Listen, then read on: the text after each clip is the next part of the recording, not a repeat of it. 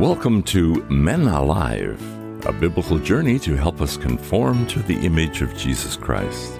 I'm your host, Paul Estabrooks. Our teacher is my longtime friend, Dr. Jim Cunningham, consultant in adult education, director of Go Teach Global, and author of the book Men Alive. Jim, more than 40 countries follow a tradition of observing what is called Mother's Day on the second Sunday in the month of May. The founder of the idea was Anna Jarvis of Philadelphia, who originated the day to honor her late mother back in 1907. Her intent was that folks would go to church with their mother, have dinner together, and then write her a letter of appreciation. It caught on, and in 1914 it was proclaimed a national holiday by U.S. President Woodrow Wilson. Pablo, like you, I was blessed with a godly mother and a virtuous wife who became a wise mother to our children and grandchildren. But you and I were recently challenged with this question. What character qualities would a man have to possess to live with what the Bible calls a Proverbs 31 woman? Now, for our new listeners' benefit, that's a woman who lives according to the character qualities described in the book of Proverbs, chapter 31 let me suggest what I will call four stages of marriage. Some call marriage a journey, but marriage is more than a journey. Marriage is a lifelong commitment. Healthy marriages go through four stages. For example, when a man and woman get married and become husband and wife, they usually begin as passionate lovers. No children, good health, lots of energy. Wow, this is great, eh? Let's call these early years of marriage the romantic stage. But along comes your first child as God intended from marriage, whether natural born or by adoption. We now enter the second stage. Husbands and wives become parenting partners. Life has changed forever. As a married couple, we are now responsible for protecting, nurturing, and training each of our children to grow like Christ did in wisdom, stature, and favor with God and man. Together, we find ways to live within a budget and to stay out of debt, to make every dollar count as our family grows from one to two or even more children. Let's call this the resourceful stage. Next, in what feels like a flash of time, our children begin moving out of the home for a variety of reasons work, education, travel, missions, or marriage. As husband and wife, we now move into stage three. We become perpetual friends. We share common pleasures as husband and wife. With increased free time, we can focus on grandparenting, community service, hobbies, travel, and redeeming opportunities for missions and helping others. Let's call this the resolute stage of marriage. Then, as a married couple ages, often after retirement, they move into stage four. In this phase, both husbands and wives learn new skills to be patient companions, skills to help meet the spouse's declining physical, emotional, or even spiritual needs. We could call it the reduction stage. John's Gospel, chapter 21, verse 18 says, I tell you the truth, when you were young, you were able to do as you liked. You dressed yourself and went wherever you wanted to go. But when you are old, you will stretch out your hands, and others will dress you and take you where you don't want to go. Medical people like to say, as people age, they are beginning to decline or dwindle. To live with a Proverbs 31 woman means we as men must be willing to grow through each of the four stages of marriage with the wife of our youth. Proverbs 31 describes a wife of noble character. Listen as Paul reads the chapter from the New Living Translation with a few added comments I will interject. Who can find a virtuous and capable wife? She is more precious than rubies. Pablo, like many husbands, you and I realize how blessed we are to have found a virtuous and capable wife. Her husband can trust her, and she will greatly enrich his life. She brings him good, not harm, all the days of her life. We can trust our wife 100%. She loves us and wants good for her man, not harm. She finds wool and flax and busily spins it. She is like a merchant's ship bringing her food from afar. She gets up before dawn to prepare breakfast for her household and plan the day's work for her servant girls. This could be called the parenting partner stage. The amount of energy a woman puts into raising children can make a man's head spin in amazement. She goes to inspect a field and buys it. With her earnings, she plants a vineyard. She is energetic and strong, a hard worker.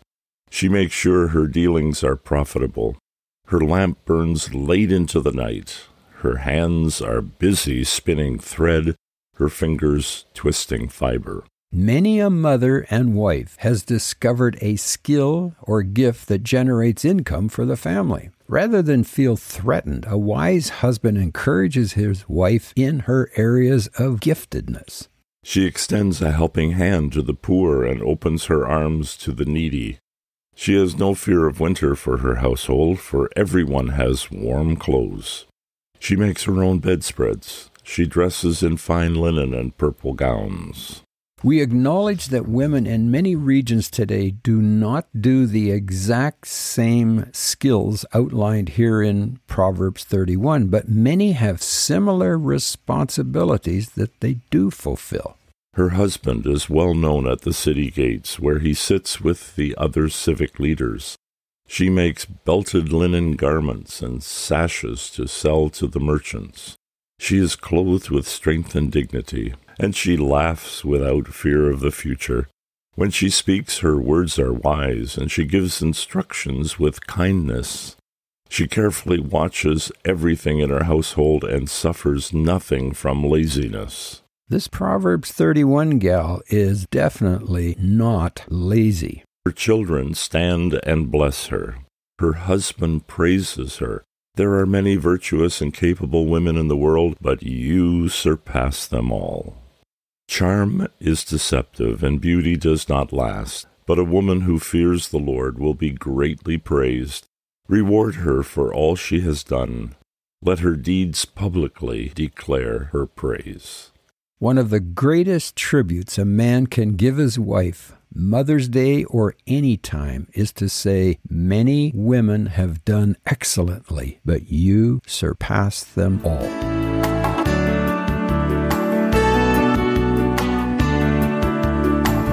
You are listening to Men Alive with Dr. Jim Cunningham from the ministry Go Teach Global.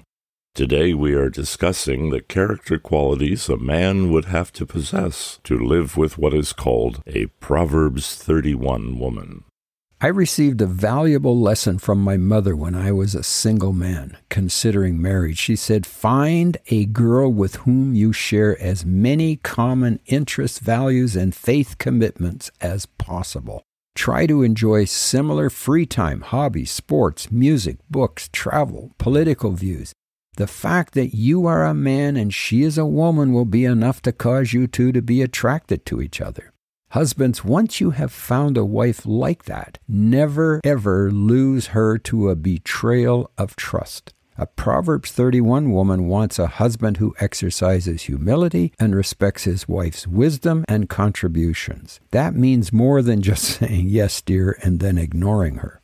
Women do want their husband to be a spiritual leader in the family and a biblical role model of a godly husband and father to their children. Pablo, when I was a newly married man and had two young sons, one of my friends was a single police officer. He asked me this challenging question Jim, when you go home after traveling and teaching for many days, who do you greet first when you walk through the door? I answered, Well, usually my boys run and hug me first, and then I kiss Rita. Wrong. What do you mean, wrong? Rita is to be the first in line for a hug. The boys need to know that Rita is number one in your life. They must respect her and obey her in your absence because she is more important to you than they are. Rather challenging advice from a single man. He's now married and has three daughters, and his wife is still number one in his eyes. He has lived successfully with a Proverbs 31 wife for over 45 years. Marriage, men, is a covenant, a lifelong covenant, for better or for worse, regardless of whether at the passionate lovers stage, called the romantic stage, or at parenting partners, the resourceful stage, or perpetual friends in the resolute stage, or patient companions in the reduction stage. Jim, I can say that for my bride Diane, it was essential that I, as her husband, shared the same faith system and lifestyle values. She believes, as I do, that a strong spiritual foundation is crucial for a marriage to thrive and survive. Wives and mothers want men who respect their opinions and engage together in decision making. Humility is paramount. As one author said, a man married to a Proverbs 31 woman should recognize that he is a part of a partnership and not seek to dominate or control. He should be humble enough to acknowledge his own shortcomings and to learn from his wife's wisdom and strengths. Mutual respect and humility are foundational for a harmonious and fulfilling marriage. Let's be personal for a moment here, Pablo. You and I are over the normal marriage meter in the length of time we've been married. Currently, you and Diane are approaching 59 years. Rita and I are heading for 57. We both view our marriages as a partnership where we contribute our unique strengths to the well being of our family. While our wives may take on certain tasks traditionally associated with the Proverbs 31 woman, such as managing our household and engaging in charitable work, you and I are equally involved in supporting our wife and sharing the load. We communicate openly about our goals and priorities, and we make decisions together based on mutual respect and consideration. That's what has allowed us to live successfully with our Proverbs 31 wife. So, what advice can we offer to men seeking to cultivate the qualities necessary to be married to a Proverbs 31 woman? Each of us need to focus on developing the fruit of the Spirit in our life. No marriage is divorce proof at any age or any stage. The Bible says that when we confess with our mouth that Jesus Christ is Lord and believe in our hearts that God has raised him from the dead, we will be saved from our life of selfish individualism now. I call that S I N. And we'll be filled with God's Holy Spirit. Here's how the Holy Spirit helps us live with a Proverbs 31 woman. The Holy Spirit produces the kind of character qualities in us that makes us an attractive husband to a Proverbs 31 woman at each stage, because the Holy Spirit produces love, joy, peace, patience, kindness, goodness, faithfulness, gentleness, and self control. A husband who exhibits those character qualities to his wife will inevitably have a marriage that lasts a long time. Wives find it easier to love a husband who evidences those nine character qualities. Some husbands have a loving, supportive, gifted wife, yet they constantly find fault with her, even in public. We as men should be proud of our Proverbs 31 woman, celebrating her successes and praising her virtuous character qualities, especially in public, honestly, though, and without flattery. Let's examine our own lives and relationships.